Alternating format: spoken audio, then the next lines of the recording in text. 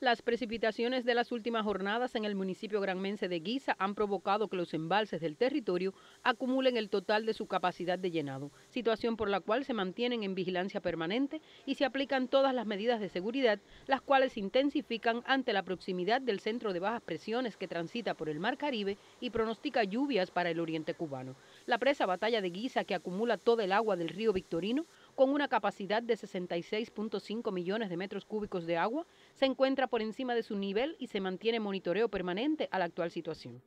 El último vertimiento que tuvo el embalse fue en el 2017, que tuvo un vertimiento menor que el que mantiene en estos momentos, que ahora tiene un volumen de 7,866, que es mayor que el que tuvo en el 2017 y todavía las lluvias no han comenzado como se anuncia. Debe tener un, mayor esvertimiento en, en horas más tarde por la lluvia intensa que pueda caer. El mayor embalse del municipio, la presa Corojo, cubre los escurrimientos de 268 kilómetros cuadrados de cuencas de los afluentes de Bayamo y Guamá y hoy sobrepasa los 96 millones de metros cúbicos de su capacidad y desembalsa al 105% de metros cúbicos por segundos. Estar en vigilia ver la cantidad de agua caliente y compensarlo con la salida que tiene, evitando a inundaciones agua abajo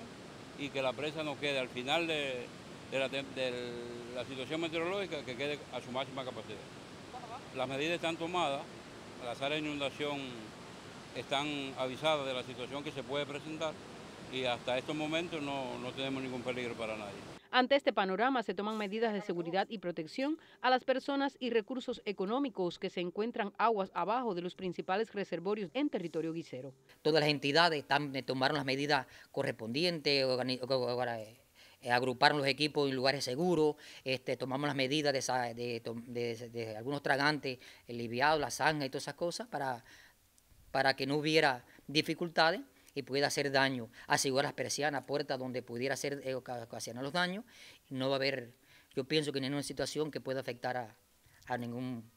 habitante de la población. Para eso tomamos todas las medidas. En consonancia con la cercanía del centro de bajas presiones a la zona oriental del país, se intensifican las medidas de seguridad contenidas en los planes de reducción de desastres en toda la geografía granmense. Elena Lienz, Sistema Informativo de la Televisión en Granma.